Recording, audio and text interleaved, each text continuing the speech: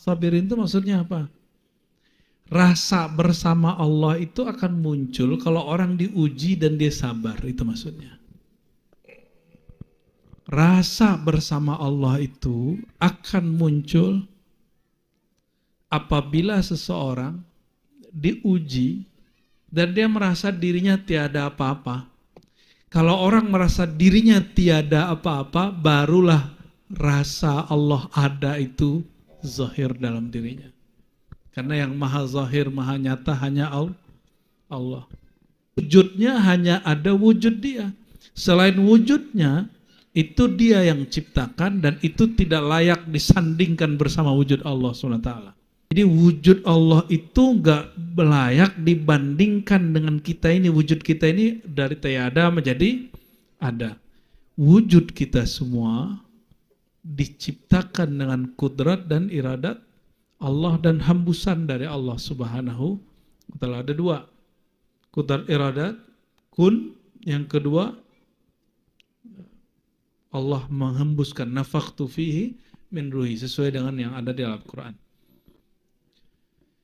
Orang diuji, lalu dia akan merasa tidak berdaya. Di situlah dia merasa dirinya tiada. Baru zahirlah Allah yang maha ada. Tapi masalahnya, jika ada orang diuji, nggak merasakan adanya Allah, Allah tetap ada atau menjadi tidak ada? Sebelum dia diuji, Allah ada nggak?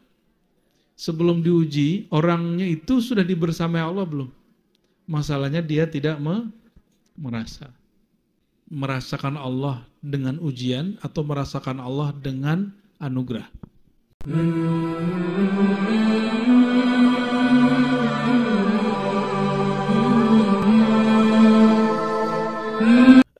عليكم ورحمة الله وبركاته. وعليكم السلام ورحمة الله وبركاته. الحمد لله الذي كان وجوده قبل كل وجود. أشهد أن لا إله إلا الله أشهد أن محمدا عبده ورسوله. اللهم صل على سيد الوجود سيد القونين جد الحسنين سيدنا محمد. لي ونسلم عليه وعلى آله وصحبه. أما بعد اللهم يا عليم اللهم يا حكيم إنا نسألك الحكمة ونسألك الصدق ونسألك الشوق إلى لقائك. ونسألك يا ربنا سلامة الصدر يا سلام يا سلام. سلمنا من عذابك وعقابك وأجرنا يا ربنا من نارك. أمين يا رب العالمين وصلى الله على سيد المرسلين. بسم الله الرحمن الرحيم. كان الله Allah itu ada. wala syai'a ma'ah di saat awal ya di saat Allah ada maka semua makhluk belum ada. Sekarang Bang Dik, Allah masih sendiri atau udah berdua? Masih sendiri. Masih sendiri. Jadi Allah itu menyebut dirinya Ahad. Lalu ada nama lain dari Ahad itu yaitu Al-Fard. Bukan mobil Alphard, Bang. Al-Fard itu yang maha sendiri. Yang maha sendiri. Itu Al-Fard. Kalau Ahad yang maha tunggal, yang maha esa. Kalau Al-Wahid yang maha pertama, segala sesuatunya pertama dia. Allah dulu, sekarang, nanti, itu wujudnya berubah atau sama saja? Gimana? Allah dulu, Allah kini, sekarang, Allah nanti sama apa berubah? Sama Yang berubah siapa? kita. Makhluk. Jadi salah satu sifat utama dari makhluk adalah berbeda berubah. Banding lahir-lahir segini apa kecil? Kurus Buya atletis. Kurus ya. Terjadi perubahan toh.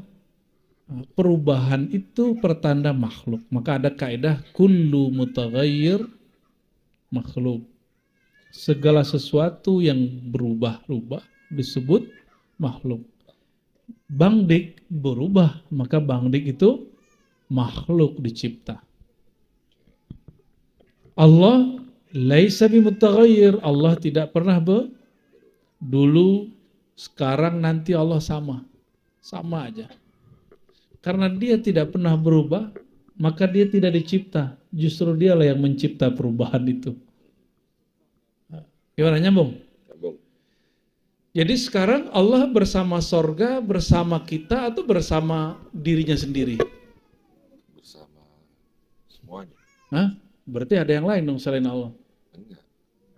Dia beserta semuanya. Semuanya itu siapa? Ciptaannya. Berarti ada ciptaan bersama Allah. Ngaji tauhid nih Bang Dik.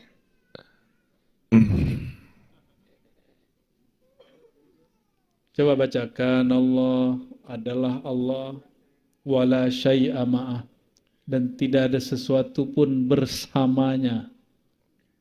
Terus wahwal an sekarang dia ala ma'alaihikan sebagaimana dulu sendiri sekarang masih sendiri.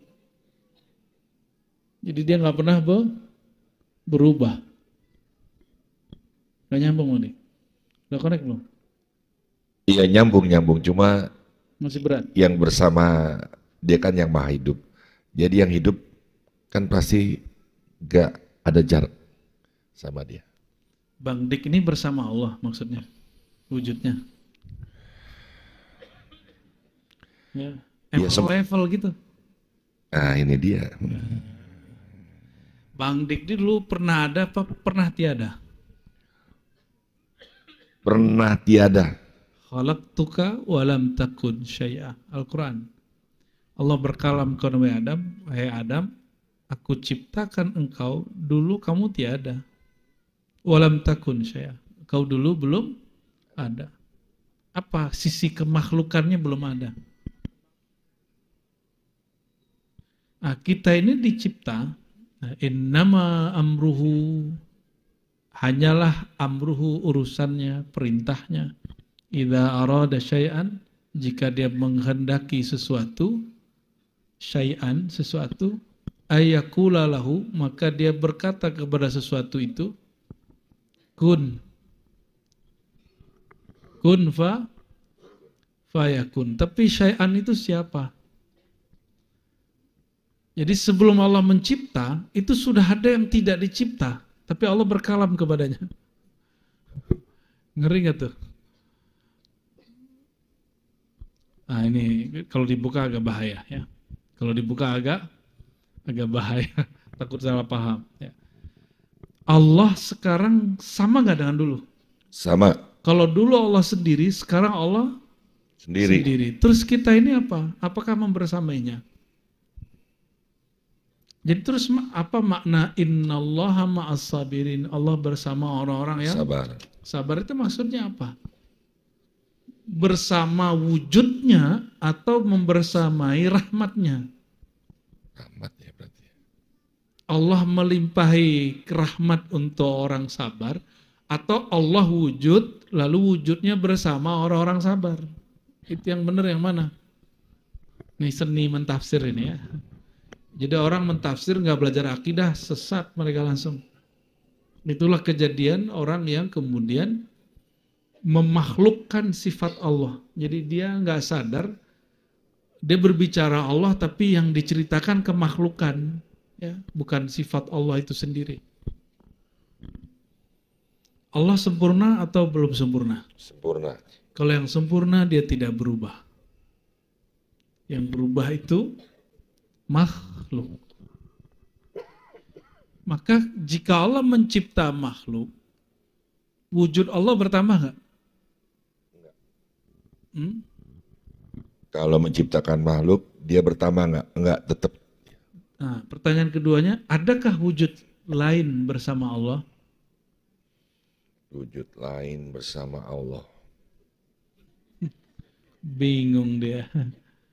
Ya.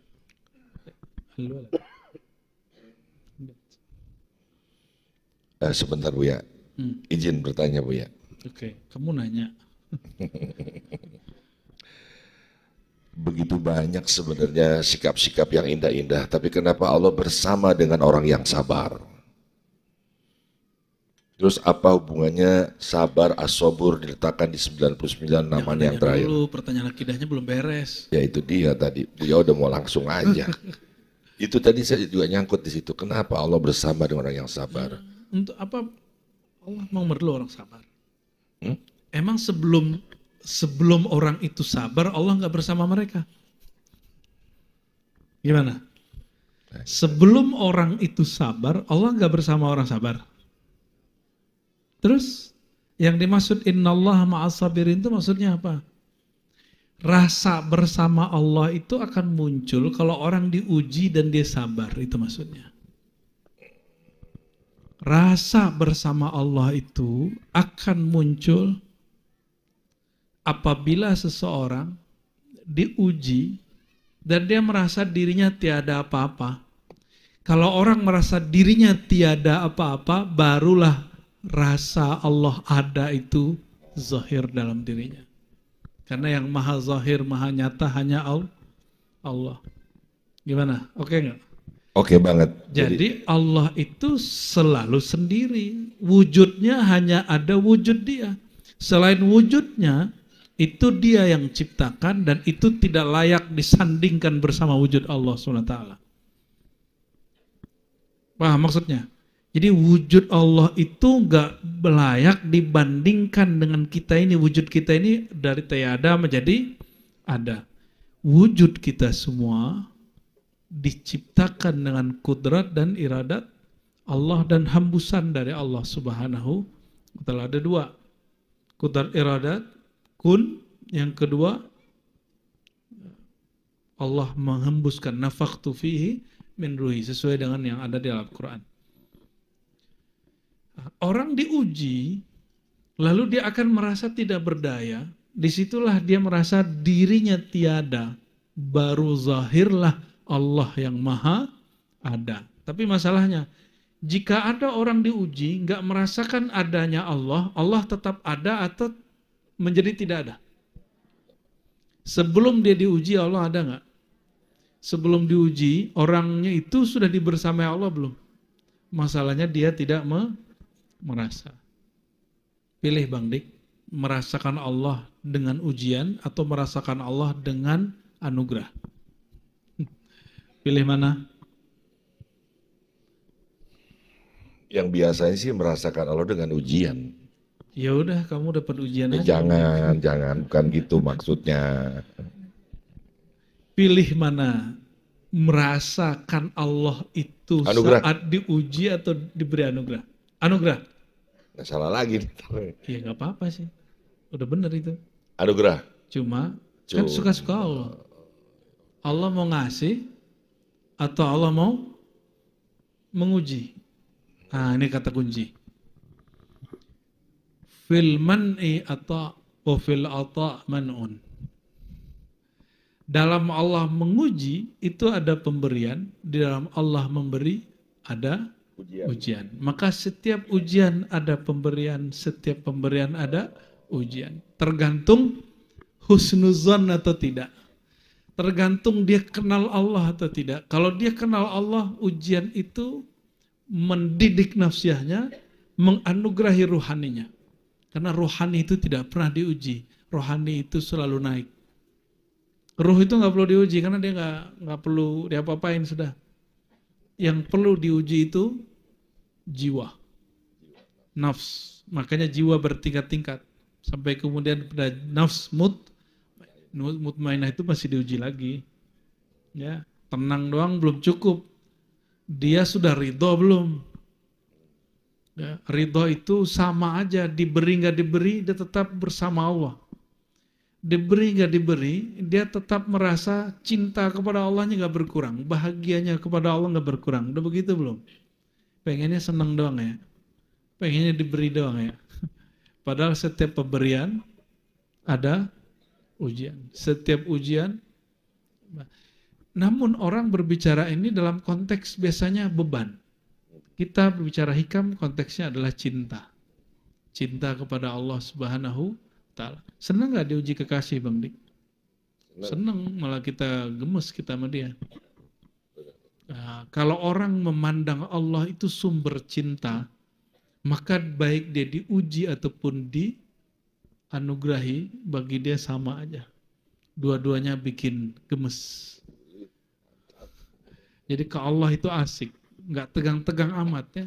Ini kok beragama tegang semua. Ini wajahnya belajar hikam udah tegang semua nih. Karena antum didoktrin dulu belajar hikam tuh tegang kali ya. Kalau belajar hikam, uh, sholat sholat sebelum zuhur setengah jam udah di masjid gitu. Saya digituin sama teman, eh lo ngaji hikam setengah jam sebelum zuhur udah ke masjid. Lah urusannya apa? Gak ada urusan itu. Kalau emang kalau nggak ngaji hikam terus nggak ke masjid. Itu cara orang ngejek ngaji hikam tuh. Tapi hati-hati. Hikmah itu ilmu Allah. Yang nggak senang ilmu Allah ya musuh Allah. Ya nauzubillah min min dalik. Nah, ini uh, akidah yang harus kita tanam. Jadi ini kalimat muncul dari seorang sahabat bertanya kepada Nabi Muhammad SAW. Namanya Abu Musa al-Ash'ari. Itu grup dia, kelompok uh, Bani Ash'ari dari Yaman. Datang ke Nabi SAW lalu bertanya, Ya Rasulullah, kaifakana Rabbuna. Allah itu dulu gimana? Maka dijawab oleh Nabi Muhammad SAW, dengan penggalan kalimat pertama kanallah wala syai'a Allah pernah ada tanpa sesuatu pun bersamanya. Maka dia sekarang ada selain Allah juga tetap ti, tiada. Jadi wujud kita ini jika dipandang dari kacamata kudrat iradat Allah, kita disebut mah, makhluk. Tapi jika dipandang dari sisi wujudnya Allah, wujud kita tiada. Paham maksudnya? Jadi kita itu baru ada jika dipandang dengan dua sifat. Kudrat, iradat. Berarti kita ini apanya Allah? Objek kudrat, iradat Allah. Kudrat kekuasaan, iradat kehendak. Maka sebenarnya Bang Dik ini dan kita semua mulai dari darahnya, dagingnya, tulangnya adalah kudrat iradat Allah lah yang mengalir di situ. Jadi yang ada di sisi Allah itu cuma kudrat iradatnya, bukan bangdik sebagai wujud. Jadi kita ini kalau datang ke Allah nggak bisa pakai wujud ini. Mesti datang dengan sifat yang dia ciptakan dengan kita. menikah. Orang menikah emang bisa datang ke Allah nggak bisa. Nikah itu waja'ala bainakum mawaddatau warahmah. Mawaddah sifat dari nama Al-Wadud. Maha pengibah. Rahmah nama sifat daripada Rahman dan Rahim. Maka orang bisa datang ke Allah dengan keluarganya jika dia datang dengan dua sifat ini. Mawaddah, rahmah. Kalau enggak, nggak bisa mesti, mesti habis cinta ego kita ke diri yang nyata itu cinta kepada Allah Subhanahu wa taala. Jadi orang tuh nggak mungkin cinta kalau nggak dengan cinta mawaddah rahmah Allah. Ya, maka semua lagu-lagu cinta itu menjadi hambar kalau nggak menyebut bahwa dari mawaddah dan rahmah Allah lah itu muncul. wa kullu mawaddatin wa rahmatin. Ya, setiap mawaddah dan rahmah itu abadi. Karena mawaddah rahmah sifat azaliyah maka dia abadi. Semua cinta yang tidak dengan mawaddah tidak dengan rahmah jangankan sampai akhirat di dunia aja habis. Ya di dunia aja habis. Ah kita ulangi. Yang kekal itu siapa? Dulu Allah ada, sekarang Allah ada dan tidak be, nanti juga Allah ada. Maka supaya kita ini terkoneksi kepada Allah, jangan pernah merasa ada di sisi Allah. Paham maksudnya? Maka kalau sholat, jangan merasa sholat kita itu kita yang sholat. Tapi anggaplah itu anugerah dari Allah. Kalau sholat, makomnya mestilah haula wala billah. Tiada daya, tiada yang ruku, tiada yang sujud kecuali dengan kodrat iradat Allah. Inilah yang berpulang, berpulangnya sifatnya kepada yang punya sifat. Itu yang disebut ibadah. Inna lillahi Saya punya guru dia kalau mau sholat dia baca inillahi inna lillahi wa inna ilaihi rajiun. Ada lagi guru kalau mau sholat baca la haula wala quwata illa billah.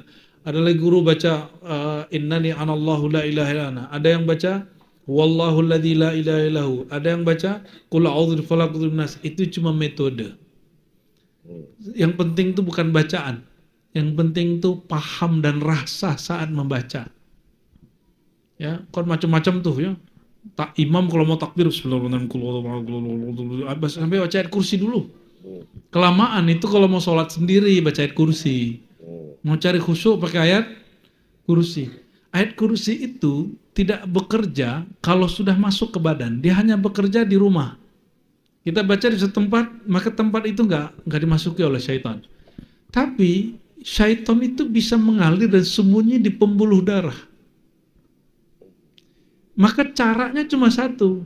Sumber pembuluh darah di mana? Di jad, ajar jantungnya yang disebut nama Allah. Nanti kebakar semua syaitan di tubuhnya. Ya baru bisa. Jadi kalau antum cuma zikir-zikir Bismillahirrahmanirrahim, saya sudah rukyah, saya sudah ini, udah hafal ayat kok masih bisa kesurupan ya wajar. Karena zikirnya belum dari darahnya. Ya, maka ada zikir darah bang Dik. Itu zikir Sayyidina Ali. Sedang hal itu kalau ruku sujud mengatakan, Ya Allah, sujud kepada engkau, darahku, dagingku, tulangku, sumsumku, persendianku. Itu Sedina Ali. Kalau bahasa Arabnya agak ribet. Saja adalah ke dami, wa izami, wa lahmi. Ya, banyak bang Dik. Coba dia ulang bang Bingung kan?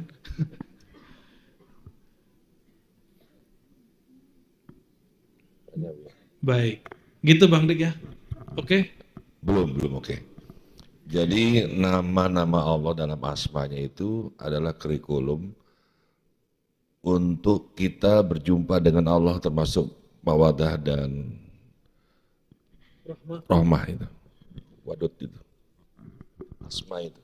Nama itu kurikulum untuk jumpa. Kita berjumpa karena kita menyipati namanya itu. Nama dan yang punya nama emang gak pisah. Maka kalau sebut namanya akan jumpa yang punya nama. Itu Bang. Udah benar itu. Jadi nama itu fasilitas wasilah jumpa dengan yang punya nama. Namun mesti kenal siapa yang punya nama supaya nanti jika yang punya nama menampakkan atau menyatakan dirinya jangan nyebut nama lagi Nama itu disebut hanya saat belum terasa perjumpaan. Kalau sudah jumpa, maka namanya diganti. Bukan nama-nama yang biasa, ya Allah, ya Allah. Itu berarti belum jumpa itu. Hmm? Kalau udah jumpa, Bang Dik kalau sebelum jumpa kita-kita nih menyebut Ar-Razi, Ar-Razi, Ar-Razi, Ar-Razi. Kalau dijumpa berani nyebut Ar-Razi, Ar-Razi. Kesurupan kali. Ya. Kalau udah jumpa, pandang aja pandang, bicara, ngobrol. Jadi kalau sudah jumpa yang punya nama, pandanglah dia. Memandang yang punya nama itu yang paling mahal. Itu yang disebut musyahadah. Memandang yang punya nama. Kapan kita diizinkan mandang punya nama? Kalau yang punya nama izin. Sebenarnya dia selalu menyatakan dirinya tapi siapa yang diizinkannya ketika seseorang membuang keakuannya, ya, membuang kediriannya, maka wajarlah kalimat yang ada di kul wallahu ahad katakanlah dia Allah yang maha esa. Jadi kalau masih ada kita bersama dia, ada ibadah kita, apalagi antum ngomong gini, saya sudah zikir, sudah sholat dengan jihkam kok rezeki gini-gini aja gitu. Yang ngomong begitu tuh Allah nggak terima itu. Keren. Ya, nggak diterima tuh orang begitu. Berarti dia ngerasa so penting di hadapan Allah Subhanahu Wa Taala. Ya, hati-hati. Allah firlana. La tata'adda niyatu himmatika ila ghairi. Jangan sampai harapanmu nyantol ke makhluk gitu maksudnya. Jangan pernah berharap ke kepada makhluk. Contoh gini, Bang Dik nih tiba-tiba ada orang ngomong, Bang, ntar aku hajiin ya. Ngarep. Bang, ntar aku ini nih bangunin rumah ya. Ngarep. Tiap bulan berharap, berharap, berharap, berharap. Itu namanya menggantungkan harapan pada pada makhluk dan siap-siap kecewa. Siap-siap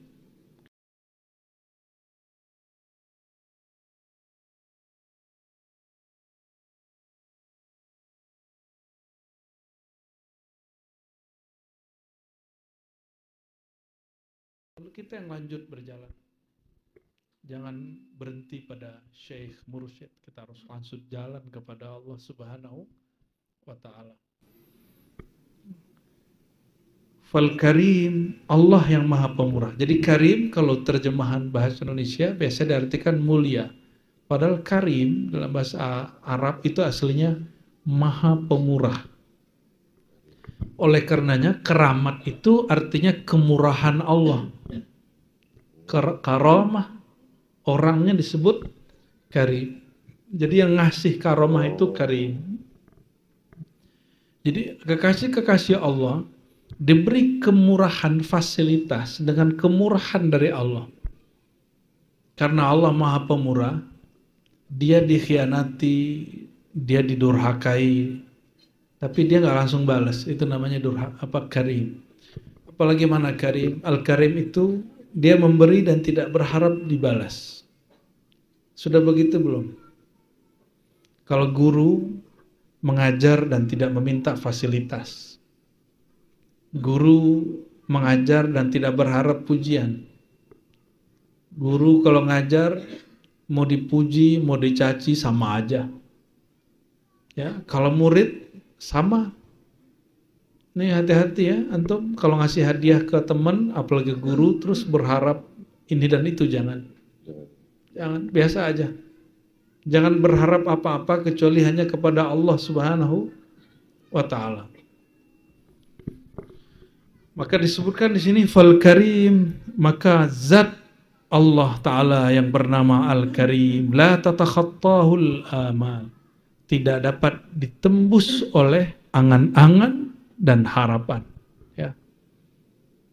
Jadi jangan pernah menggantung harapan ke makhluk, ke wali-wali, bahkan ke nabi itu kita menggantungkan harapan sebagai wasilah kepada Allah, bukan sebagai tujuan akhir.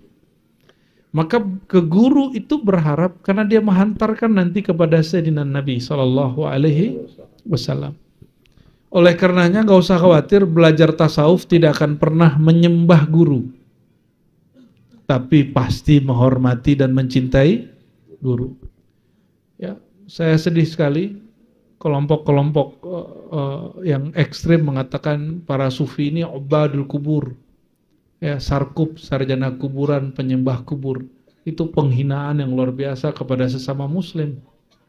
Ya. Pernah dengar nggak Bang Dik? Baru dengar malam ini ya? Uh, kurang piknik juga ya. Bang Dik nih kalau datang ke sunan-sunan yang sembilan, wali-wali sembilan itu ngelihat orang di mana? Lihat orang di makam. Ya, ngapain? Nyembah. Doain. Do, doain pak minta ke orang situ. Gak tahu ya. Enggak ada yang doain, ada yang datang macam-macam sih Bu ya. Macam-macam. Uh, kalau saya sih foto-foto ya. Aduh. Tapi orang kalau belajar akidah halus sunnah, apalagi bertasawuf, itu tidak mungkin menyembah mak makhluk. Oh, kita berperantara. Perantara itu bukan berarti juga nyembah perantara. Ini beda dengan kelompok orang-orang jahiliyah. Orang jahiliyah itu menyembah si perantara supaya sampai kepada Allah. Kita tidak menyembah perantara itu. Kita hanya menghormatinya. Ini saya agak sedih pendiri Muhammadiyah, ya, pendiri Muhammadiyah, kayak Ahmad Dahlan, ya tidak pernah mengharamkan maulid. Apalagi mengatakan bahwa kitab-kitab maulid itu isinya puji-pujian yang berlebihan kepada Nabi Muhammad SAW. Tapi kita lihat sekarang beberapa ustadz yang mengatasnamakan dirinya Muhammadiyah eh, melarang baca kitab maulid karena di dalamnya ada pujian berlebihan kepada Nabi Muhammad SAW. Saya rasa ini ada manhaj yang berlebihan, ya harusnya tidak berkalam seperti itu. Cukup katakan kami tidak bermaulid selesai. Kami tidak baca kita maulid selesai. Gak boleh memuji. Yang memuji Nabi Muhammad SAW itu bukan makhluk kita, tapi yang memujinya siapa? Allah. Apakah Allah menyekutukan dirinya dengan Nabi Muhammad SAW? Enggak nama Nabi Muhammad SAW dengan semua formulasi derivasi kata dan segala macam itu lebih dari 2000 kata yang ada di dalam Al-Quran. Dan Allah memujinya. Saya juga heran kok orang mengira bahwa puji-pujian itu muncul dari para penyair dan sufi. Enggak. Pujian terhadap Nabi Muhammad SAW yang ada di kitab Burda, kitab Berzenji, kitab Simtid Duror, Semuanya diambil dari Quran, diambil dari Sunnah, lalu dikumpulkan menjadilah dengan bahasa-bahasa yang yang kita baca hari ini. Contohnya, contohnya Allah memuji Nabi Muhammad SAW dan menyebutnya dengan namanya. Wabil mu'minina ra'ufur rahim. Coba ayat laqad ja'akum. Laqad ja'akum rasulun min anfusikum azizun alaihi ma anittum harisun alaikum bil mu'minina rahim. Allah memberi namanya sebagai gelar untuk Nabi Muhammad SAW. Apakah Allah menyekutukan dirinya dengan Nabi Muhammad SAW? Ya, jadi yang mengatakan bahwa kitab-kitab maulid itu berlebihan memuji, coba Anda protes kepada yang nurin Quran. Ya, jangan sembarangan berfatwa. Ya, karena guru-guru kita mengajarkan dulu al-mufti itu orang paling dekat kepada neraka. Karena fatwa dia kadang-kadang dia asal fatwa. Ya, adra'un nas ya, benar. Orang paling dekat ke neraka itu mufti. Sembarangan fatwa silakan ya. Jadi kalau antum nggak maulid, ya nggak apa-apa sih. Emang kita maksain maulid. Cuma kita kita menganjurkan maulid, tapi nggak pernah maksa. Jangankan maulid, sholat aja kita nggak maksa. Apalagi cuma maulid. Tapi kalau ada orang memfatwakan itu, ah ini. Tapi tunggu. Atau maulid dihina orang. Atau maulid dibubarin orang. Jangan marah, jangan rusuh, jangan balas. Itu mana Al-Karim. Kita mau ngejar nama Al-Karim nih sebenarnya nih. Ya. Apa Al-Karim? Orang kalau memberi nggak harap pamrih. Orang kalau disakiti dia nggak balas, itu karim. Udah begitu belum? Disenggol dikit di sosial media nggak balas bisa nggak gitu nggak? Kalau senggolnya offline nyenggol baliknya offline gitu ya? Itu yang disebut al karim Allah itu al karim kalau memberi nggak pamrih. Kalau orang durhaka Allah nggak langsung balas Nah, itu namanya Al-Karim. Ditunggu dulu apa kata Allah. Tunggu dulu sehari semalam ini siapa tahu dia bertaubat, beristighfar, hapus. Kalau kita gimana? Kalau ada orang baik sama gue, uh, gue lebih baik. Kalau ada yang jahat sama gue, gue lebih jahat. Oh, setan itu yang ngomong tuh ya. Maka di hikmah yang 40 dikatakan, La tarfa'anna ila ghairi hajatan huwa muriduhu alaih. Jangan pernah mengadukan kepada selain Allah satu hajat yang mana dialah yang dapat menunaikannya untukmu. Nah, maka kalau adab ziarah, jangan sampai ziarah itu menyekutukan Allah dengan si wali di dalam. Tawasul itu maknanya bukan menggantungkan harapan kepada si wali. Tawasul itu supaya doa kita pede. Kita nyari, ya Allah saya ini pencinta wali engkau Aku ini ya Allah lagi ziarah kepada kekasih engkau. Jadi wasilah Tuan Syekh, Sunan-Sunan, wali-wali itu bukan mereka lah yang kemudian kita gantungkan harapan kepadanya. Tapi mereka itu justru sebagai sugesti penguat. Itulah hebatnya tawasul. Ya, jadi jangan salah paham tentang tawasul. Kita tidak pernah pernah menyembah uh, orang yang kita tawasuli kita hanya menjadikan mereka uh, sebagai guru, ilmunya kita ambil. Karena mereka ini kekasih Allah, maka kita datang kalau ya Allah, aku, kami ini murid dia. Kalau murid wali, insya Allah akan dipandang bersama para wali. Ya, insya, insya Allah. Tafadhal. Tawasul dengan amal soleh itu sebenarnya bertawasul dengan kudrat iradah Allah juga. Boleh. Tawasul itu Bang Dik ada tiga. Satu tawasul dengan amal soleh. Yang kedua tawasul dengan nama dan sifat Allah. Dan yang ketiga bertawasul dengan kekasih-kekasih Allah. Dan semuanya boleh dalam ajaran ahlus sunnah wal jamaah. Gitu ya. Termasuk orang tua kekasih. Orang tua mah belum tentu. Siapa tahu anaknya yang wali, orang tuanya belum tentu. Ya. Kalau Bang Dik, anaknya namanya wali. Bapaknya berarti bapaknya wali. Ini paling berani ngasih nama nih. Sama Tuhan kok nyeleneh ya. ya, hikmah lagi.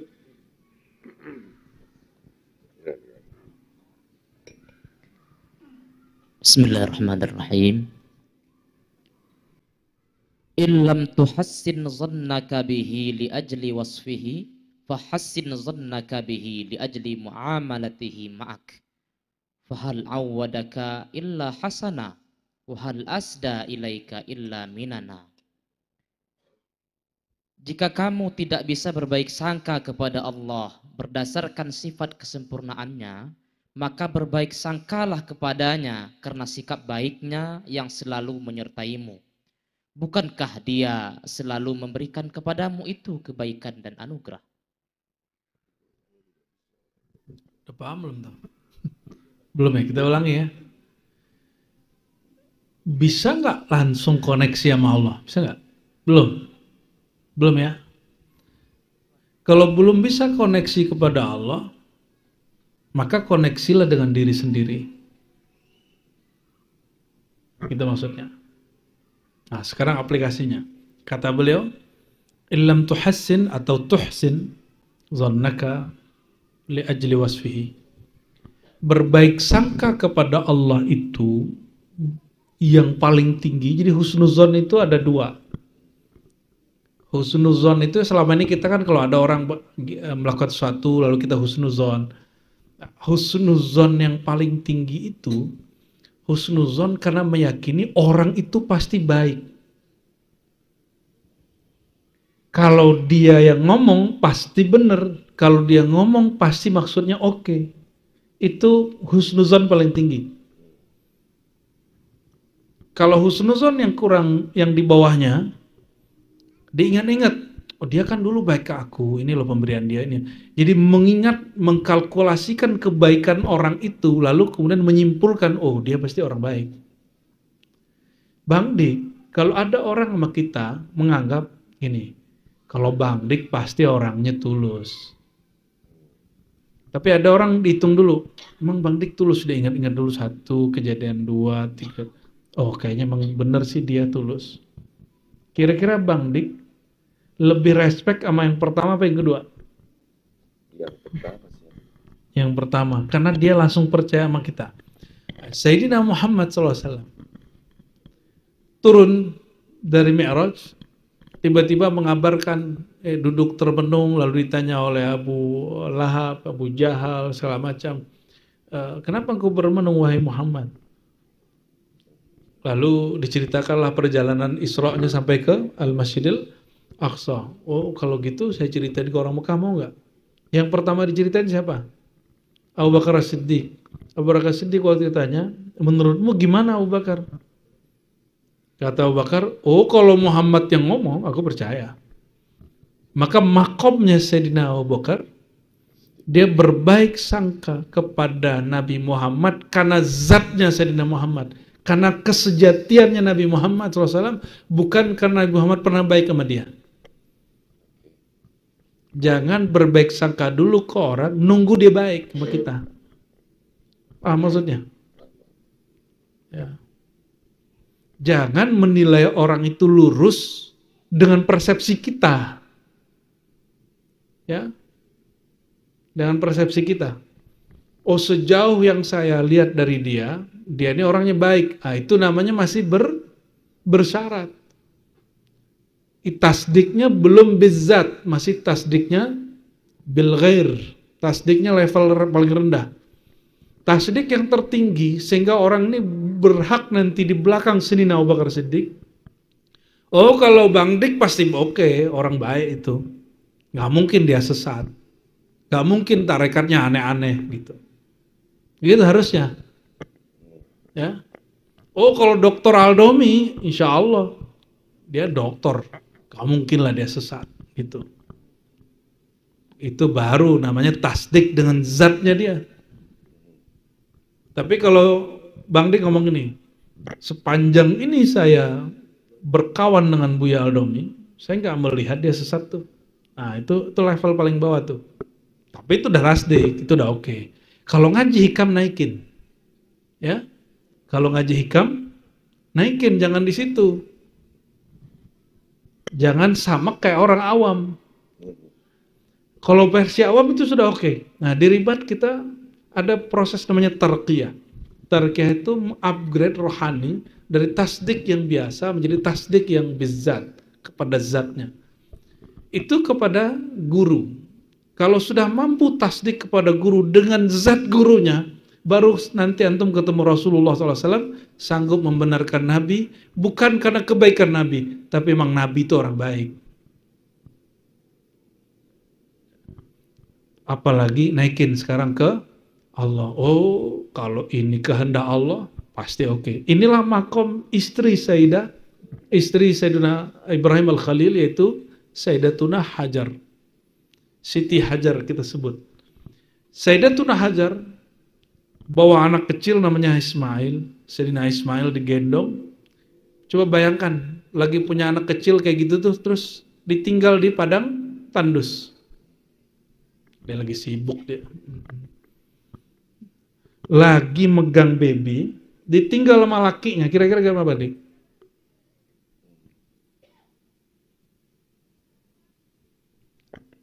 Bertanyalah istri kepada suami, Wahai Ibrahim, kenapa engkau tinggalkan aku? Apakah ini kehendakmu atau kehendak Allah? Apa jawaban Ibrahim? Ini kehendak Allah ya sudah. Kata istrinya, kalau ini kehendak Allah, aku ridho.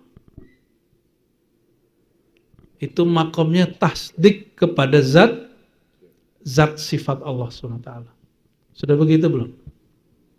Kalau ini kehendak Allah, saya terima. Emang ada yang nggak dikehendaki Allah?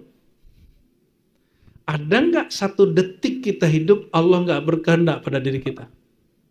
Kalau ada berarti ada Tuhan selain Allah. Berarti antum musyrik. Syiriknya tersembunyi. Dan itu berbahaya. Jadi mulainya ditarik dari berkawan, berguru, kepada Nabi SAW naik sampai ke itulah yang disebut siddiqin ya ulaika gimana ayatnya ayat ma'al ladzina an'amta alaihim ya minan nabiyyina was-siddiqin was-sa wasyuhada'i was-salihin mereka itulah bersama para nabi di bawah nabi para siddiqin lalu syuhada dan salihin Nah, siddiqin itu siddiq, bukan sadik. Apa beda siddiq dengan sadik? Sadik itu baru percaya karena kebaikan dia. Kalau siddiq percaya karena emang dianya orang baik. Tapi kalau Bang Dik saya aku percaya orangnya emang tulus ya, tulus, suka ngayal halu gitu. Ya hati-hati yang sekarang sok-sok mau berantas halu. Jangan-jangan ente barisan Abu Jahal Abu Lahab. Karena nggak semua pengalaman spiritual itu halu. Itu ada yang hakiki ada yang benar dan itu banyak sekali. Quran menunjukkan itu. Ya. Yang berhak memberantas halu itu para mursyid yang mereka megang ijazah kemursidan. Bukan santri-santri atau baru bisa baca kitab ya. Ente mantan dukun paling ya. Kalau mantan dukun mungkin berantas halu aja. Ke dukun-dukun lah, jangan ke orang toriko. Jangan ke orang yang bertorikohnya bersanatnya sohih kalau bersanatnya tidak soheh, emang sering halu di situ. Ya, jangan sosok ya pemberantas halu, ternyata malah dia pelaku kehaluan. Nah, jadi kemudian dikumpulkan orang yang pertama dia datangnya Abu Bakar Siddiq karena eh, kayaknya ini bisa membongkar kepercayaan Abu Bakar Siddiq kepada Nabi Muhammad. Sallallahu alaihi wasallam. Ternyata enggak. Ternyata tasdiknya Sayyidina Abu Bakar kepada Nabi Muhammad SAW bukan tasdik karena persepsi si Abu Bakar. Oh. Tapi dia tasdik kepada Nabi Muhammad SAW meninggalkan persepsi dia dan menyatu pada persepsi Nabi Muhammad SAW. Dikatakan, oh kalau Muhammad yang ngomong aku percaya. Jadi, ah, ini hati-hati nih, hati-hati. Ini banyak yang datang ke saya, itu bagus untuk awal. Apa itu? Buya, ajaran Buya sama dengan ayah saya. Ajaran Buya sama dengan guru saya. Ini untuk level awal oke. Okay. Tapi jangan lama-lama di situ. Jangan lama-lama di situ. Kenapa? Ilmu itu bukan dikenal melalui orang, tapi ilmu itu dikenal melalui syarat dan rukun si ilmu itu. Seandainya nih beda antara saya dan orang tua antum, tapi kitabnya itu mendukung saya, kira-kira gimana? Ngikut orang tua apa ikut saya?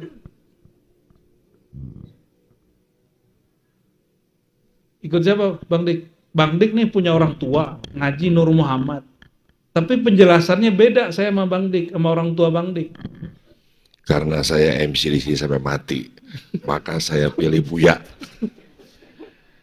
Bukan karena itu Berarti masih karena sebab jadi MC toh? Masih persepsi dia? Belum. Bukan gitu Buya.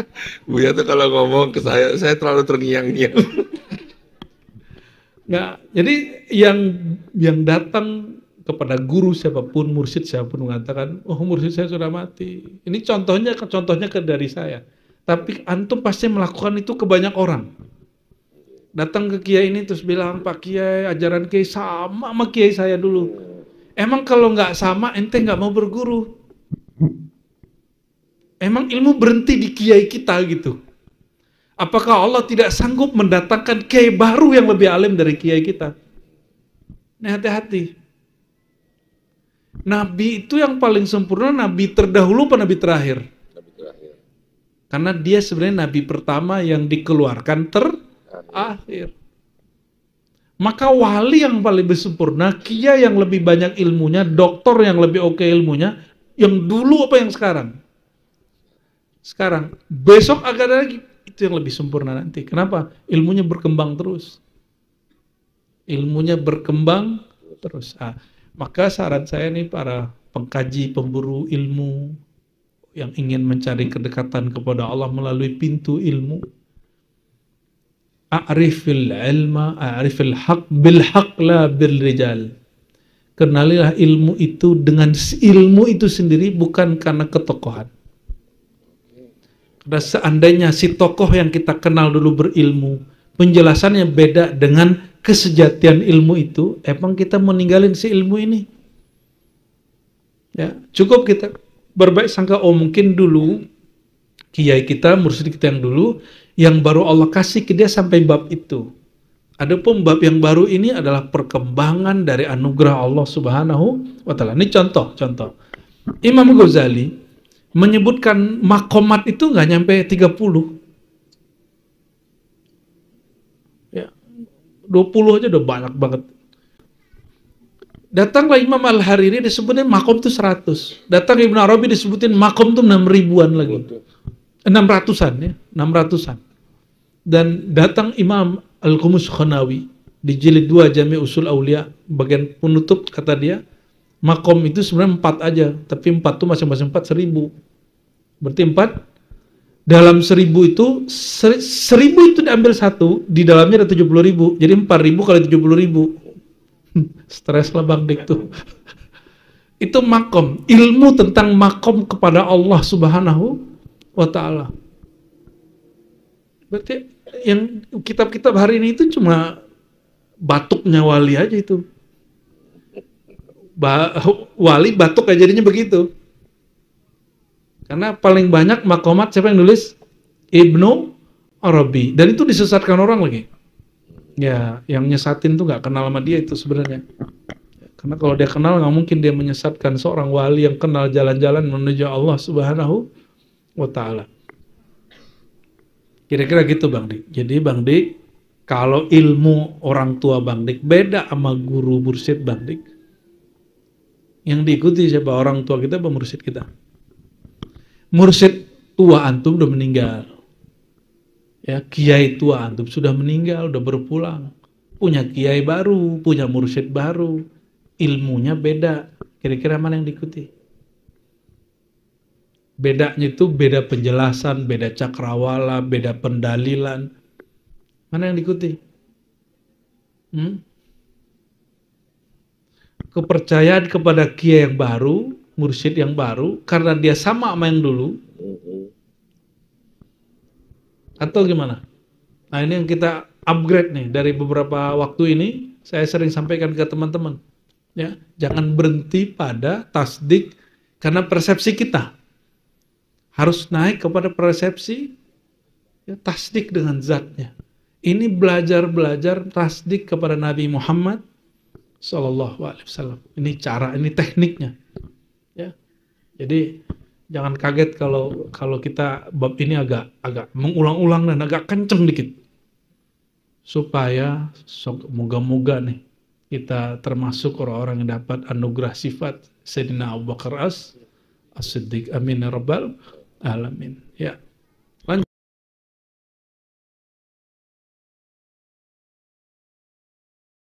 SAW lahir bersama anak-anaknya Abu Talib, Ab, ya, Abdullah.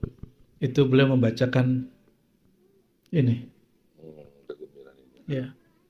Jadi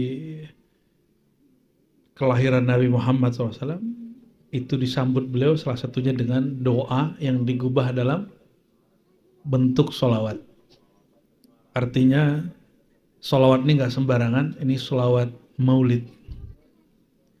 Uh, Adnan, Adnan itu salah satu nama uh, Nabi SAW.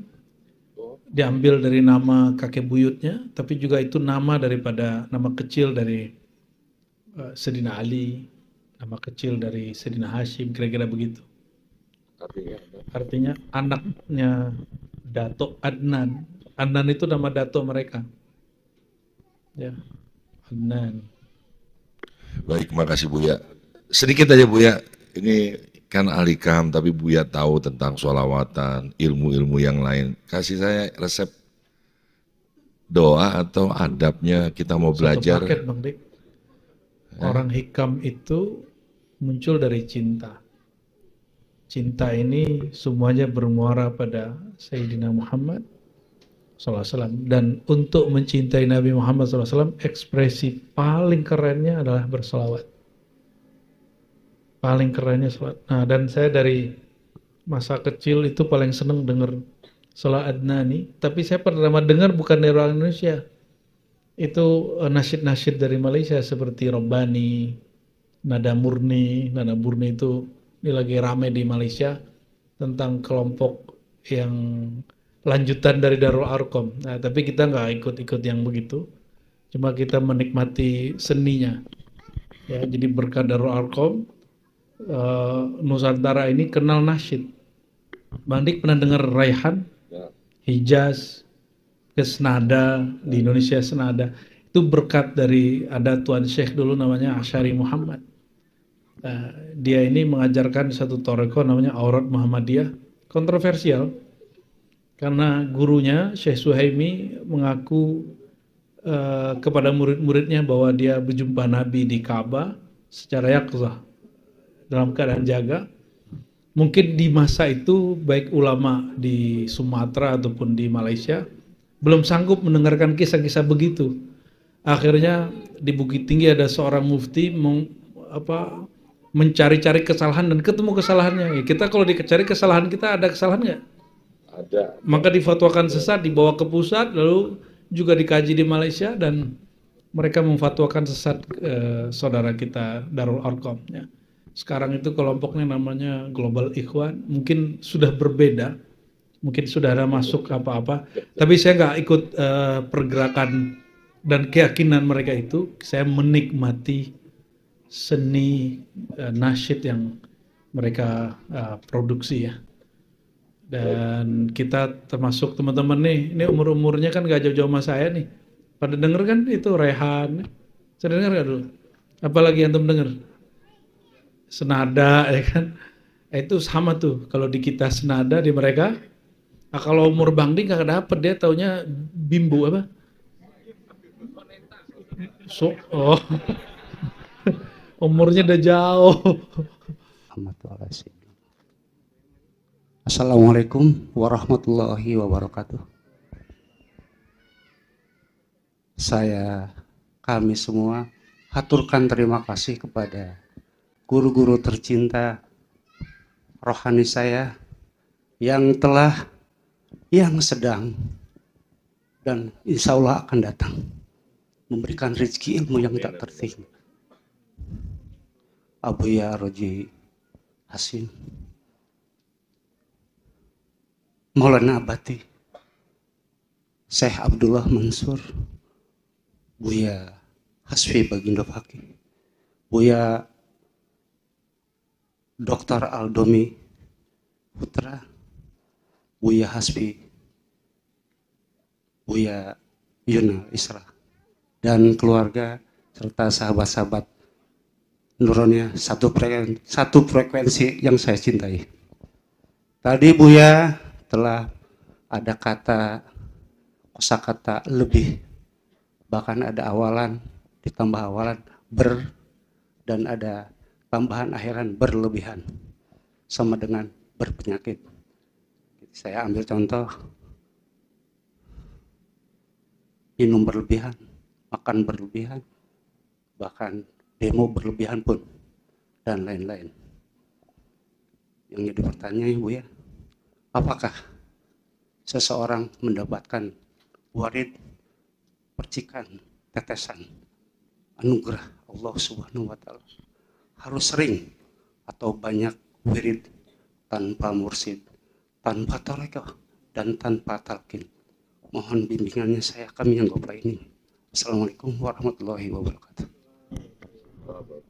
Namanya siapa tadi Pak? Oh, iya. Nama Muksin Tajaka Atijani. Oke. Garis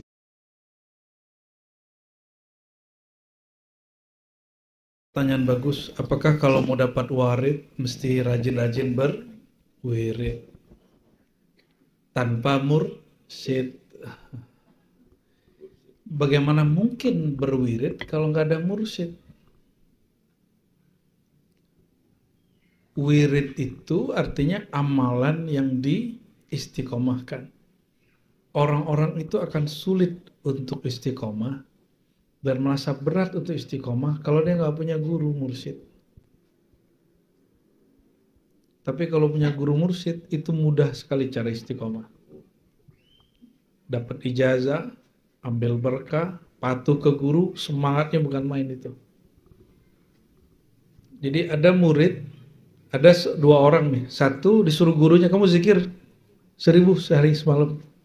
Yang satu lagi zikir seratus pagi sore aja berat. Kenapa? Yang kedua ini tidak punya mursyid.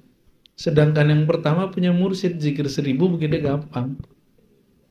Sekali duduk. Kenapa? Karena gurunya yang perintahkan. Dan ciri-ciri guru kita, kita berjodoh sama guru, perintah dia terasa ringan. Berarti antum sudah berjodoh sama dia.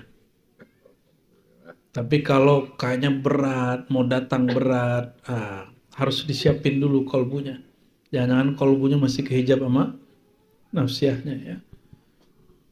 Bukan dianya nggak cocok sama kita, kitanya nggak pantas sama dia. gitu. Jangan antum ngomong kayaknya guru itu nggak pantas buat aneh. Lo ente siapa? Ya, jangan ngomong gitu. Itu berbahaya, itu tipuan syaitan buat kita. Nah, apakah perlu berwirid banyak? pada saat yang sama tidak punya mursyid supaya dapat warid. Warid pertama itu hati legowo menerima kemursidan guru yang bersambung kolbunya na Rasulullah. Itu warid pertama. Yang disebut tasdik. Tasdik itu menerima guru. Warid kedua taslim. Menerima ilmu guru, orang semua terima. Tapi jika yang memegangnya itu nggak cocok karakternya sama kita, kita masih terima nggak deh sebagai gurunya? Kita sering menerima seseorang itu karena dia cocok sama hawa nafsu kita. cocok sama suku kita, cocok cocok sama tarekat kita. Akhirnya mohon maaf, bertarekat itu bukan menghijab kita dengan pengetahuan. Bertarekat itu bukan kemudian kita kemudian hanya bertemanan sama satu toreko, bukan begitu. Torekoh itu hanya cara berwirid, bukan kemudian membatasi gaul kita dalam pengetahuan. Silakan bertorekoh apa aja, tapi kemudian bergaullah dalam pengetahuan kepada banyak guru ya. Karena rahmat Allah itu tidak hanya di satu mursyid.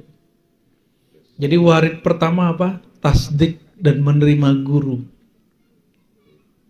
Mulai ketemu guru terima dia tasdik menerima dia tanpa syarat itu taslim tapi dua-duanya berat kecuali dengan mahabbah dengan cinta cinta. Maka cintai guru karena dia pewaris Nabi Muhammad SAW. Bukan karena dia cocok sama orang tua kita, dia cocok sama kakek kita, dia cocok dengan mursyid dulu kita, enggak. Nah ini bedanya. Tasdik yang hakiki dengan tasdik yang kazib. Jadi ada murid yang sadik, ada murid yang kazib. Murid yang sadik yang mentasdik, yang menerima gurunya karena gurunya waris Nabi Muhammad SAW. Meskipun ada perbedaan faham, perbedaan gaya, ada segala macam. Tapi murid yang kazib, dia menerima sang guru karena cocok dengan nafsunya. Karena cocok dengan persepsinya. Cocok dengan konsepnya, ini hati-hati. Ini ditahzir berkali-kali oleh Maulana Al-Imam Abdul Mawahib Asy'arani dalam kitab Al-Anwar al Utsiyah dan banyak kitab lain, Al-Minan dan lain sebagainya. Ya. Termasuk uh, Imam Abu Najib Surawardi nulis kitab Adabul Murid dan menyinggung juga tentang bab tasdik ya. Nyemung Bang Dik. Tapi terus serius ya. Emang harus serius bab ini karena ini sudah uh, udah mulai dekat uh, masa-masa ujian-ujian kita.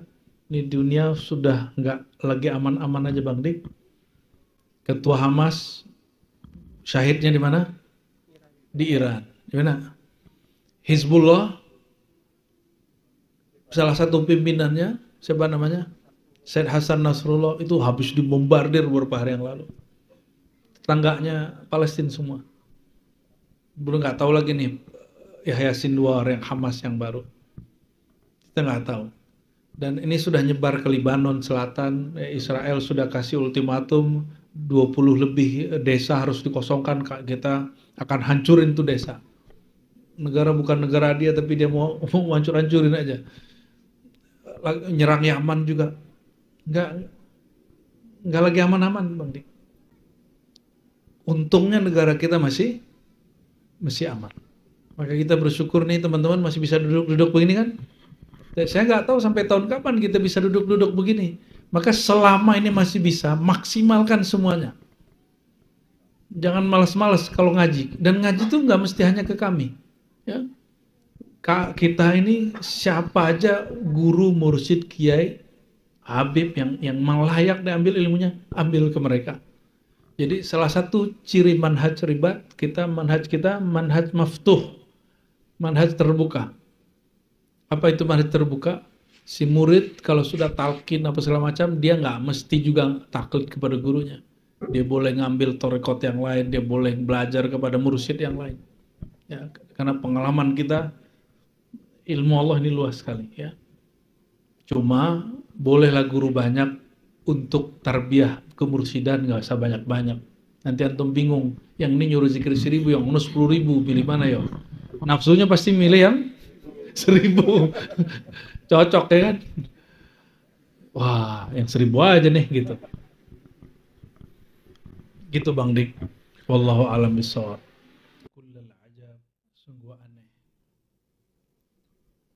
maksud aneh itu apa? Kita ini lari dari Allah yang Allah nggak pernah mungkin kita lari darinya betul nggak kita ini mencoba melupakan Nabi Muhammad SAW padahal dia nggak pernah melupakan kita. Kita mencoba untuk pura-pura atau sengaja untuk menjauh dari Nabi Muhammad SAW, padahal tubuh kita dan alam semesta tercipta dari nurnya. Sallallahu alaihi wasallam. tubuh ini tercipta dari empat unsur, air, tanah, api, udara, avatar dong. Itu tercipta semua dari nur Nabi Muhammad Sallallahu Alaihi Wasallam. Maka orang maksiat itu pakai pakai bahan yang tercipta dari nur ini. Itu sebabnya setiap orang maksiat kolbunya langsung negur, eh kamu maksiat loh. Eh kamu maksiat. Selalu dia berkecamuk. Sampai kemudian hatinya sudah tertutup. Khatamallahu ala kulubihim wa ala sam'ihim. Jadi Allah itu bicara lewat nur itu.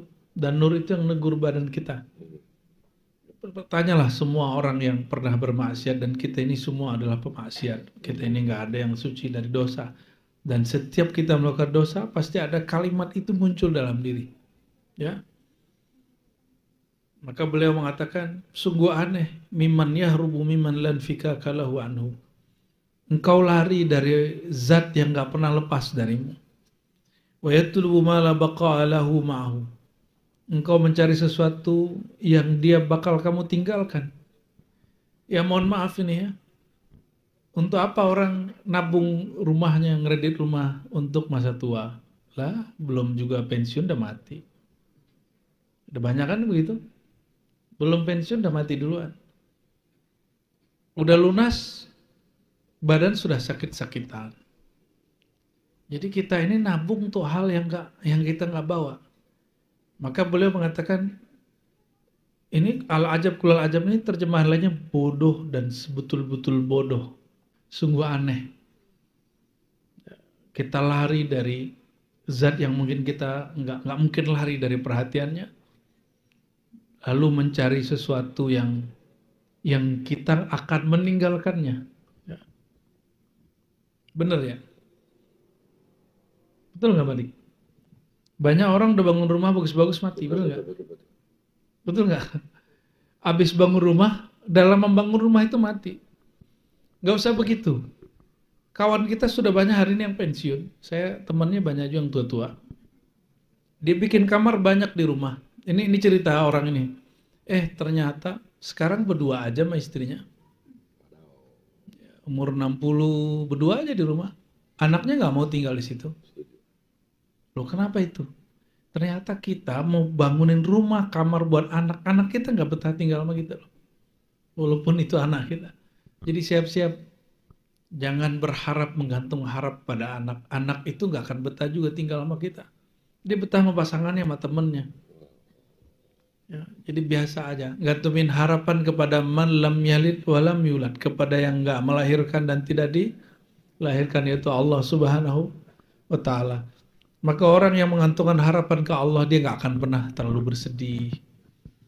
Ya, baper-baper dikit boleh lah tapi jangan masuk-masuk amat ke hati gitu Bang Dik. Ya nggak kurang-kurang dihargai orang wajar sedih-sedih dikit tapi jangan terlalu kemudian diiba-ibai. Ya nanti bikin kita jadi sewot. Nabi SAW itu sering bertanya, ini kenapa saya begini, kok sahabat nggak ngikut? Nanti konsultasi sama istrinya, istri jawab. Tapi Nabi sebatas itu aja. Kenapa? Allah Ta'ala sudah cukup bagi Nabi Muhammad SAW. Nabi Muhammad itu sholat untuk dirinya atau untuk siapa? Nabi masih perlu sholat nggak? Allah udah diampuni zat yang sudah diampuni masih perlu nggak ibadah begitu? Kan nggak perlu. Terus sholatnya Nabi itu untuk apa? Untuk doa buat kita-kita semua ini. Yang sholatnya nggak pernah khusyuk itu. Khusyuknya kalau lagi utang, lagi ingin mendapatkan uh, keramat dalam rezeki, ya kalau lagi dirundung sama kemalangan baru khusyuk. Itu mah bukan khusyuk, itu namanya antum lagi bersedih itu sholat, nangis. Jadi itu bukan khusyuk. Kesedihan di luar sholat dibawa ke dalam sholat. Itu bukan khusyuk bro. Khusyuk itu di sini. Ya, ya. Kalau itu namanya kusut. Ya, bingung nak ngadu ke sini nggak bisa, ke sono nggak bisa. Akhirnya ngadu ke sholat gitu. Kalau orang sudah kenal Allah, dia nggak perlu khusyuk menunggu masalah. Khusyuk itu tanpa ada masalah dia sudah khusyuk. Kenapa? Wujuduka zanbun la yuqasu alaih. Wujudmu sendiri sudah masalah. Gak usah kemudian nunggu-nunggu ada masalah lain. Merasa diri ini wujud saja. Merasa saya beramal saja itu masalah.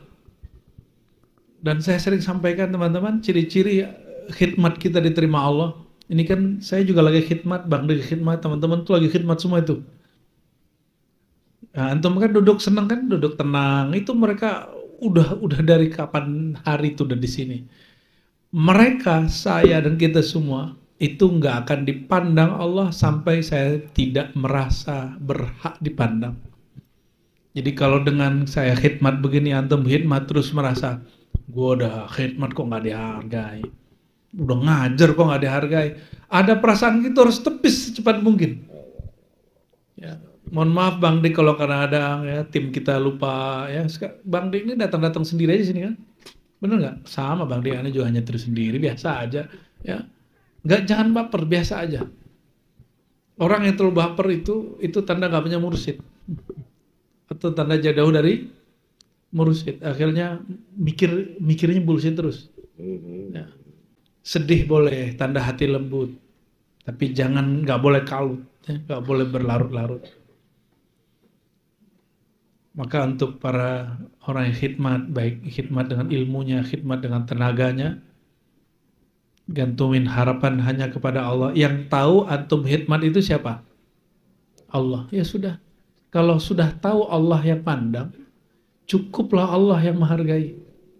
Guru nggak bisa melihat semua, teman nggak bisa menghargai semua. Yang punya pasangan, khidmat aja sama pasangan. Masalah pasangan kita nggak hargai itu urusan dia.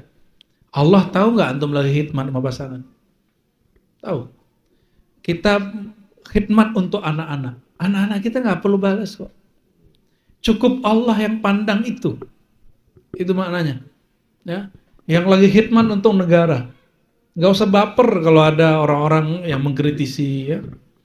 Emang di Indonesia kan dijaga orang-orang seperti Rocky Gerung, orang kayak Bang Dik itu dipelihara itu.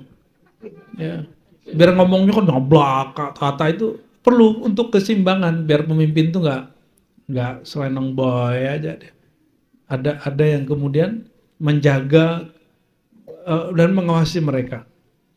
Tapi pemimpin yang khidmatnya dia merasa dipandang oleh Allah, dia nggak baper dikata-katain orang. Nah, kita belajar dari rumah dulu, lalu di RT, di RW, di masjid, di majlis. Baru orang-orang begitu layak jadi pemimpin. Ya, kita doakan pemimpin yang baru, wakil-wakil yang rakyat yang baru, mereka merasa diberikan rasa oleh Allah, merasa dipandang, dihargai Allah. Kalau seandainya semua makhluk mencaci maki, kalau Allah ngasih apresiasi, cukup nggak? Cukup. Cukup? Semua makhluk nggak ada yang merhatiin. Hatta orang terdekatnya nggak ada yang merhatiin. Nggak nganggep. Tapi Allah menganggap dia, cukup nggak? Itu yang disebut ya. Cukuplah Allah wa kafa billahi syahida. Cukuplah Allah yang menyaksikan kamu. Cukuplah Allah yang menyaksikan bahwa kamu ini sedang berbuat. Ya. Nah, inilah rahasia guru-guru. Guru-guru itu kirim doa, kirim Fatihah, muridnya nggak tahu. Ya, orang tua yang sejati dia mendoakan anaknya walaupun anaknya lupa doain dia. Orang tua hakiki dia selalu ingat anaknya walaupun anaknya tidak pernah ingat dia. Dia memberi apa yang bisa diberi untuk anaknya walaupun dia tidak berpikir nanti anaknya bisa balas atau tidak. Ya. Sama guru juga begitu. Dan orang tua sejati Al-Ab Al-Akbar Sayyidina Muhammad SAW ketika beliau mau wafat pun yang dipanggil nama nama-nama kita semua ummati ummati. Ya ini teman-teman nih joglo apa namanya pendopo mohon doakan yang berwakaf ya ada yang wakaf di atas ada yang wakaf di bawah tapi mereka tidak mau disebut namanya tapi mereka semua dari Jawa Tengah ya semoga Allah berkahi yang membangunnya yang berwakaf ya yang bekerja berkhidmat ya untuk beliau-beliau yang berkhidmat dan berwakaf ini mohon al-fatihahnya semua al-fatihah Bismillah Ya kena ya. Suratul ladzina an'amta 'alaihim ghairil. Amin. Ya, kenapa kita bangun ini dulu Bang Di? Supaya kalau ini gampang, nggak perlu EMB, nggak perlu izin. Langsung kita bangun, kita bangun. Nanti insya Allah sebelah situ kita buat rumah kayu tuh suluk. Bagian dari surau dua tingkat nanti sebelah sini perempuan eh sebelah sini laki-laki sebelah sana perempuan. Nanti yang di di belakang yang duduk-duduk itu nanti kita buat eh, surau masjid insya dua tingkat minimal ya Eh, nanti ngajinya bisa di situ bisa di sini. Kalau hujan di dalam. Kalau gak hujan di luar. Begitu. Nah, insya Allah di belakang sini nanti rumah para asatis ya para mualim mursyid-mursyid di belakang. Yang khidmat nanti kita buatkan ada tempat-tempat di depan situ nanti. Mohon doanya niat baik ini bukan niat untuk diri kita tapi niat untuk uh, membersamai umat Nabi Muhammad sallallahu alaihi wasallam ala hazanna wa likulli niyatin salihah al-fatihah Bismillahirrahmanirrahim Suratul ladzina an'amta 'alaihim ghairil maghdubi 'alaihim waladdallin. Amin. Sallallahu ala sayyidina Muhammad. Alhamdulillah rabbil alamin. Terima kasih doanya. Belum dengar kolam berenangnya di mana Bu ya? Ke BSD. Ya, kan Iya. Kan, Jannah itu ada sungai-sungai yang mengalir. Eh, Nanti kita buat got yang nggak bersianan. parah God. Buya, saya minta pendapat Buya. Murni. Harus fitri ini, harus original dari Buya. Saya ini hari-hari ini ter- orang-orang terdekat pada ngumpulin emas. Karena dia mendengar ahli ekonom-ekonom gitu. Tentang bahwa yang lain tidak berlaku, hanya emas yang berlaku. Saya nggak bisa memahami pemikiran itu karena dia bukan seorang yang muka safa bisa melihat ke depan. Saya ngebayangin Bu ya kalau keadaan kita seperti Palestina sekarang, kita ngarungin emas kita seret-seret karena itu berlaku, konyol itu pikiran itu. Kalau Buya memandang itu apa Buya? Karena saya bukan menjawab Buya ya. Ya. Di situlah Allah mulai menurunkan pertolongannya gitu, yang secara mutlak. Gimana Buya pandangan Buya? Ada cara membaca hadis yang keliru. Karena tidak mengenal makrifat akhir zaman, taunya dia cuma makrifatul fulus. Jadi yang mengenal ma'rifatul fulus dikira selamat di akhir zaman itu kalau orang menimbun emas. Yang paling enak tuh orang Jawa, emas-emas dia. Iya. Terus maksud hadis Nabi SAW bahwa nanti ketika huru hara terjadi, duit nggak berlaku, bener. Hanya emas. Itu maksudnya nanti semua mata uang tidak bernilai. Bahkan emas pun orang nggak butuh. Yang diperlukan di akhir zaman waktu huru hara apa? Ya, ini yang diperlukan. Inilah emas sejati. Jadi yang paling berharga itu keyakinan orang kepada Allah. Masa dia nggak belajar dari surah Al-Kahf? Kenapa Nabi SAW mengatakan, kalau Dajjal kamu dengar keluar, bacalah surat Al-Kahf. Surah Al-Kahf itu ceritanya tentang apa aja? Ashabul Kahf, pemuda Kahf, yang 309 tahun tidak makan, tidak minum, masih hidup. Nggak pakai nggak pakai koin deh hidupnya. Jangan kejebak ini ma'rifatnya jangan ma'rifatul fulus, ma'rifatnya mesti ma'rifatullah, ma'rifat samadaniyah. Mengenal Allahus samad. Allah itulah yang mencukupi semua kebutuhan kita. Allah lah al-muqit yang memberi makan kita. Coba, kira-kira ashabul kafi makan minum apa? Kok masih hidup? Ditidurkan. Ya, kenapa ini nggak dibaca dengan baik? Nah, karena dia cintanya dunia, ah, agak soleh-soleh dikit pakai dinar dirham. Emang dinar dirham bahasa Arab? Bukan dinar dirham itu nama dari raja Persia. Namanya dinar apa dirham namanya itu. Ada itu ya, bin dinar, bin dirham. Jadi teman-teman, persiapan akhir zaman itu persiapan kolbu dan rohani. Bukan persiapan nimbun emas, nimbun eh, apa bahan bakar itu tugas negara. Tugas kita secara personal dan tugas majelis-majelis bukan menimbun emas buat barak-barak, enggak. Enggak, bukan itu tugas kita. Tugas kita mempersiapkan kolbu sir nanti supaya nggak kena fitnah. Kata Nabi SAW, nanti kalau Dajjal keluar, kalian ini merasa masih mukmin padahal Allah mandangnya sudah kafir. Jadi kalau nggak kuat-kuat ke masa itu minta dijemput aja dulu. Tapi emang kalau ingin berjuang ya bersama imam akhir zaman itu ya kita harus kuat-kuat kuat rohani kita. Dan semua orang sekarang sedang me- memukul genderang persiapan itu majelis ini. Makanya ini saya kasih tahu Imam Mahdi itu percaya kepadanya bukan bagian dari rukun iman. Oke, ada di rukun iman nggak?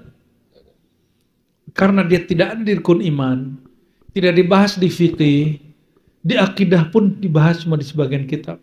Yang banyak membahas cuma ilmu tentang ma'rifat akhir zaman. Maka siap-siap bahwa nanti akan banyak muncul orang menawarkan dirinya jadi Imam Mahdi. Dan gak usah ditolak. Karena mereka nggak mengaku Nabi. Biarin nanti Allah akan seleksi dari mereka-mereka mereka-mereka itu siapa yang layak jadi imam Al-Mahdi. Kenapa? Saya ngambilnya satu aja. Kalam eh, Syekh Saman Al-Madani, ya, pendiri tarekat Samaniyah. Beliau ini mengatakan ana Mahdi, ana Ghaus, ana Kutub. Maka kita punya kaedah, setiap wali itu dibimbing oleh Allah. Dibimbing oleh Allah itu bahasa Arabnya Mahdi. Maka Bang Dik ini bisa Mahdi juga kalau dibimbing Allah.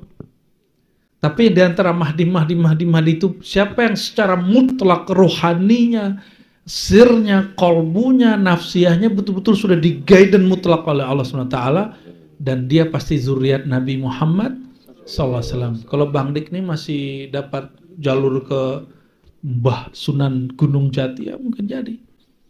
Siapa tahu ya. Cuma kan masa murid aneh Imam Mahdi kan lucu. Dan yang pasti bukan saya. Kenapa? Saya bukan jalur zuriat. Saya bukan zuriat Wali Songo dan Wali Songong. Apalagi Balawi, saya bukan zuriat mereka. Saya pencinta baik zuriat jalur Wali Songo ataupun Balawi ataupun Jelani ataupun Rifai. Semua orang yang punya nasab, dia nggak perlu pakai hujah sama kita. Dia nggak perlu kemudian pembuktian-pembuktian kitab sezaman sama saya. Karena nggak mungkin orang berbohong atas nama ayahandanya, apalagi ulama besar. Ya, nggak mungkin. Itu dosa besar soalnya. Ulama besar itu cukuplah dia sebagai ulama, tanda dia nggak bohong. Bukan karena dia punya ini, punya itu, terus dia nggak bohong, nggak mungkin gitu. Jangan begitu, ya. Barangkali gitu Bang Dik.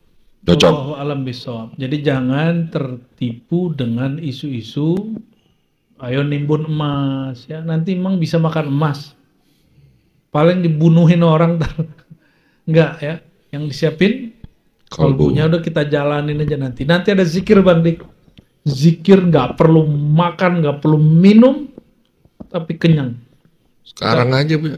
Lah kan bukan ilmu aneh Bang Dik. Eh? Kan belum boleh dibagi tuh. Waduh. Ijazahnya dari sono kan ada di kitab-kitab semua.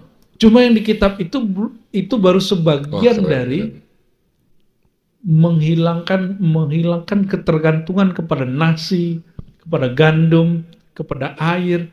Masa nanti orang dengan air ini bunuh-bunuhan? Asbab nasi satu satu mangkok itu orang bunuh-bunuhan. Asbab air satu gelas orang bunuh-bunuhan. Itu karena dia menyekutukan Allah dengan air. Dia kira air lah yang menyegarkan. Dikira nasi lah yang mengenyangkan. Ini ingat-ingat, ingat-ingat dari dari dari malam ini. Yang ngasih makan siapa? Yang Allah. ngasih rasa kenyang siapa? Allah. Yang memberi rasa segar siapa? Allah. Yang memberi hidup siapa? Allah. Yang mematikan siapa? Allah. Jadi nanti antum melihat nih ada orang punya air di situ. Kita nggak punya air, nggak usah minta sama dia. Ya, Allah. kalau kita sampai di zaman itu nanti dan nggak usah tengkar juga. Baca aja itu. Allah yang beri aku makan, Allah yang beri aku minum, Allah yang beri rasa kenyang, Allah sebutin Allah semua. Nanti kita sibuk dengan Allah kita lupa apa makan minum. Itulah makan sejati, itulah minum sejati. Ya. Di kitab-kitab sudah banyak bang Dik. Ya, Imam Surawardi sampai nulis kitab ya Asma Idrisiyah namanya. Syara al Sunnah dia ditulis dalam bentuk gubahan uh, syair itu sudah dijelaskan juga oleh banyak ulama oleh Imam Zarruq. Salah satunya zikir penghilang rasa haus dan lapar. Tapi itu kan yang turun di zaman dia. Paceklek yang turun nanti itu lebih parah dari semua paceklek yang pernah ada di dunia. Ini kan masih aman-aman itu. Alhamdulillah Indonesia masih aman-aman aja. Coba teman kita di Sudan. Antum kan jarang kan tahu berita Sudan. Sudan itu korbannya lebih banyak dari Gaza. Ya. Tapi Gaza ini sentral. Kalau karena ini nggak beres, maka nyebar ke mana-mana. Nyebar ke Lebanon hari ini, nyebar ke Yaman, nyebar ke mana-mana. Ya, dan antum tahu nggak yang yang yang bikin rusuh di Sudan? Itu negara Arab sendiri, Uni Emirat Arab. Uni Emirat Arab adalah negara Arab yang menormalisasi hubungan dengan ya dia dia juga kan yang main. Betul nggak? Waduh, jadi macam-macam nih ngomong. Jadi ke depan itu akan berat kita. Orang hari ini sudah berebut makanan di, di Gaza, di Sudan itu. Semoga negeri ini masih dijaga oleh Allah SWT. Maka kalau ada kelebihan, berbagi dengan mereka. Lewat lembaga-lembaga yang resmi. Karena kalau resmi pun antum belum nyampe, apalagi yang yang mungut-mungut yang gak jelas ya. Wallahu alam bis Ya. Ada kesal selama ini orang mengira koneksi kolbu itu nanti dia melayang ke mana-mana itu bukan koneksi itu namanya halu. Kalau itu baru halu tuh. Koneksi itu kesadaran orang membaca apa yang dia baca dan memaknai apa yang dia lafazkan. Itu koneksi pertama. Jadi antum sadar lagi baca. Dan maknai kalau orang memaknai yang dibaca itu merinding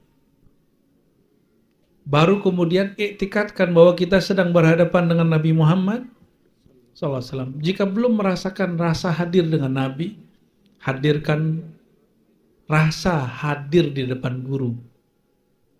Ini yang disebut rabitah. Rabitatul syekh, rabitatul mursyid. Mursyid hakiki itu Nabi Muhammad SAW. Namun karena orang tidak semuanya tembus kolbunya ke sana, maka dia melewati guru dulu ya. Nah, gimana caranya supaya oke okay, mudah sampai kepada guru baru ke Nabi Muhammad? Mahabbah kepada guru. Cintai guru karena dia pewaris Nabi Muhammad SAW bukan karena apa-apa. Bukan karena Bang Dik ini uh, artis ya. Bukan karena Bang Dik ini dia cantik apa ganteng sih? Bukan tapi karena dia pewaris Nabi Muhammad Sallallahu Alaihi Wasallam ya. Dan ciri-ciri rohnya sudah aktif kedua adalah sifat-sifat rohani mulai mendominasi jiwa. Jiwa itu enggan, sombong, keakuannya tinggi. Maka sifat rohani itu adalah rendah hati, mengalah, patuh, tidak sombong mulai mulai itu dominan. Sifat nafsiyah disinggung, dia balasnya lebih. Tapi sifat ruhiyah, dia disinggung, dia mendoakan kebaikan bagi orang yang menyinggungnya. Sifat nafsiyah disakiti, dizolimi, maka dia mendoakan laknat bagi yang nyakitin dia. Tapi sifat ruhiyah, jika dia disakiti, dia berbaik sangka kepada mereka. Nabi Muhammad itu berbaik sangka ke kita. Karena kita, bukan karena apa-apa. Apa kata beliau? Ya Allah mereka tidak mengerti. Nabi gak baper gini. Masa mereka gak ngerti siapa aku? Gak, gak gitu loh. Ya, masa mereka gitu? Ya, nah, itu kalau terjadi sama kita, cut segera. Allah. Karena itu nafsiyah yang muncul. Ya, Allah. Itu yang merusak semua majelis. Ini hati-hati. Ini para buya, para mualim, para pengurus. Ya. Ini yang merusak kita semua. Nah, untuk untuk yang ikut ngaji para salik ya nanti antum baru disebut salik itu kalau sudah mulai uh, ada amalan yang diamalkan sudah mulai talkin dan semula ringan mengamalkan itu udah boleh disebut salik. Insya, insya Allah. Maka teman-teman semua mungkin uh, malam ini cukup ya. Kalau yang tadi terakhir pertanyaannya uh, kok terasa ujian berat? Orang yang menganggap ujiannya berat, berarti dia merasa penting. Ujian itu akan berat kalau nggak kenal siapa yang uji. Yang paling berat diuji siapa? Para nabi. Tapi apakah ada nabi yang ngeluh? Ada nabi yang ngeluh nggak? Nabi Yunus. Nabi Nuh bukan ngeluh, dia dia dia lari. Tapi habis itu kan dia balik lagi. Gak ada nabi yang ngeluh. Nabi kalau ngeluh itu umatnya langsung hancur. Guru kalau ngeluh muridnya hancur. Maka murid itu, guru itu tidak akan mengangkat muridnya jadi mursyid sampai si murid ini betul-betul sifat nafsiyahnya kalah dengan ruhiyahnya. Ya, jadi dia betul-betul harus bisa ngelola betul nafsiyah dia. Gak mesti kemudian harus terbang ke langit itu gak mesti ya. Jadi yang penting sifat rohaninya lebih dominan. Yang sedang dapat ujian katakan ya hasbunallah wa ni'mal wakil cukuplah Allah pelindungku. Karena yang menguji Allah, maka yang melindungi Allah. Waktu Sina Ibrahim diuji, itu yang beliau baca. Hasbunallah wa ni'mal wakil, ni'mal maula, wa ni'mal nasir. Untuk negeri ini semua kita doakan. Semoga negeri ini Allah jadikan baldatun tayyibah. Negeri yang subur, negeri yang makmur. Pemimpinnya adil, amanah wakil-wakil rakyatnya tidak sibuk memperkaya diri sendiri, tapi mereka memperhatikan rakyat-rakyatnya. Para ulamanya Allah jaga, para habaibnya, para jamaahnya Allah tumbuhkan cinta di kalbunya. Allahumma alhimna ya Rabbana ilman. Allah marzukna hubba. Ya Allah, anugerahi kami mencintai engkau tanpa syarat. Ya Allah, anugerahi kami mencintai Nabi Muhammad SAW tanpa syarat. Ya Allah anugerah kami mencintai guru-guru kami dengan tanpa syarat. Ya Allah jadikan kami orang yang kau takdirkan berjuang untuk agama engkau, untuk nabi engkau, untuk pewaris-pewaris nabi engkau. Dan ya Allah, sekali engkau masukkan cinta kepada kalbu kami. Mohon ya Allah, yang maha kekal, yang maha qadim, yang maha baka, kekalkan cinta itu di kalbu kami. Dan jangan pernah engkau cabut kolbu kami, Amin. jangan engkau pernah cabut nyawa kami, Amin. kecuali di kolbu kami. Masih ada cinta kepada engkau, cinta kepada kekasih engkau. Amin ya rabbal alamin. Bihaqqi sayyidina Muhammad sallallahu alaihi wasallam fastajib da'awatina wa bisirri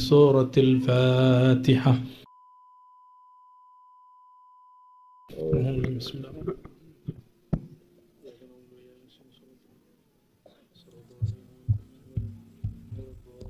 آمين إن الله ملائكته يصلون على النبي يا أيها الذين آمنوا صلوا عليه وسلموا تسليما لبيك اللهم صل وسلم وبارك عليه kita salat berjamaah. Semoga tempat ini dan semua kita diberkahi. Amin amin amin. Ya Allah